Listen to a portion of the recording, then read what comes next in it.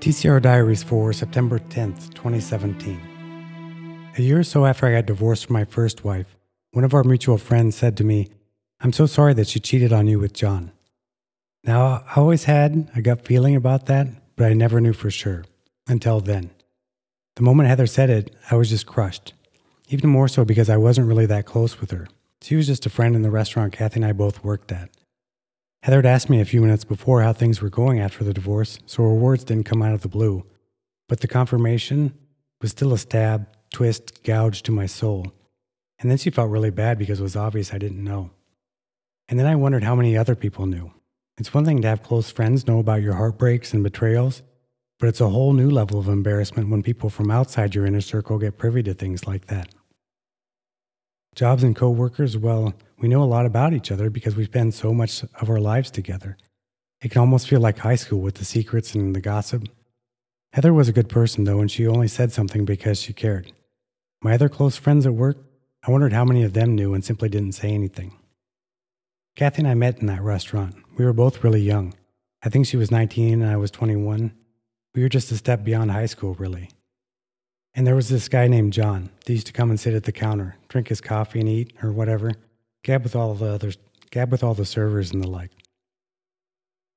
I may have had a twinge of jealousy because I was 21 and he was in his late 20s or early 30s, a full grown man with a career and a house and muscles and all that. But it never really bothered me because he talked to everybody, not just Kathy. I never saw them interact in a way that was different than how he interacted with everybody else. One time I came around the corner and I saw John and Kathy together by the front door. He was turning to go and they were holding hands with their arms out, reached out as if he was leaving and this, this is a goodbye, a longing farewell. And it's very romantic between them, with him going and her not wanting him to. The look on his face, and from what I could see, the look on hers, was a love between them that I had thought she only had for me. And in that instant, I knew it was something more than just a chit chat between them. In that moment, I had one of the worst panic attacks of my life. One of the ones where I was paralyzed with fear, unable to move, heart thumping so loud I could hear it in my ears. The world had just came down and crushed me with a truth I was oblivious to. The unseen things from left field, the ones I didn't see coming, those always did the most damage. There's no way to brace ourselves for the surprises that change everything. Anyways, John probably saw me out of the corner of his eye, but he turned and left, and Kathy walked away in the other direction. What I did was shut down on her for the rest of the time we were together. We got married later, even, even though I had completely detached myself. It wasn't fear of rejection or abandonment that stopped me from doing something, as I had plenty of both from the time I was nine. What it came down to was I didn't know how to be assertive, to stand up for myself. I'd never broken up with a girlfriend before, never been as close with one either. I didn't know what to say, didn't know what to do, didn't know how to take care of myself on an important emotional level. Bad shit had happened my whole life, and this was just more bad shit happening. And I knew how to pretend like bad shit didn't happen. Childhood stuff can fuck you up for a long time. Anyways, that whole romantic scene between John and Kathy was one of the biggest times in my life where I should have said something but didn't. I stayed in way too many relationships with the bad shit happening because I'd never learned confrontation. Denial, though, that was easy.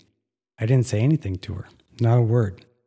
And what's more, I didn't want to face the truth that she wanted somebody else and not me, that I was lacking in some way, that I wasn't enough. See, proof that I'm not enough would kill me. So now when I think about that moment some 20, some 20 odd years later, it isn't a strong hurt that I feel, but I still feel some betrayal. However minute, it's still a little tiny thorn. I've talked about it before, so it's not some big secret. And yes, it took a fourth and fifth step and lots of prayer to be able to move past it. So when Heather told me a few years later that Kathy did in fact cheat on me, it was devastating on many levels. But the real part of this story is that I was really upset after learning that for a day or so, totally felt all the hurt and anguish and heartbreak, and then the pain stopped. It felt kind of weird because I'd lived my whole life clinging to and perpetuating pain, carrying it around in my back pocket like it was a secret note to myself, one that reminded me people were not to be trusted, that people will hurt you. And for it to be gone, I didn't know what to do. Every now and then I would think about it accidentally or not to see if something was still there, But after doing the right thing, feeling all of that, talking about it like we're supposed to, it went away. There comes a time in some people's lives where so much bad shit has happened that pain and hurt are normal everyday things we feel. And then life can feel abnormal when we don't have that pain, when it, lo- when it no longer defines us. Even more, pain will hurt once we stop being numb to it. When we take the higher road, reach for new heights, strive for more than the day before, go above and beyond who we've been, then suffering will no longer taste good. We'll think more of ourselves, know that we deserve more than day in and day out torment. Not only, th- not only will we think that, we'll feel it, know it to be true down to our innermost selves. Bad shit, bad shit happening will become unacceptable. Looking back on all that shit with Kathy now, I don't have any solid feelings about it really. I don't care either way. I mean, it happened, it's part of my story, but more than anything, I'm like, whatever. It makes no difference in the here and now, it has no bearing on my life, other than going through all of that has made me who I am today. It's one of my lessons, was fuel for one of my spiritual growths. It's made me bigger, a more complete human being. And that's what happens when we deal with life. That's what happens when we process it, find closure. It no longer holds us back in our lives today. You know, I used to drink so nothing could touch me. I found that the real way for nothing to touch you is just to deal with it.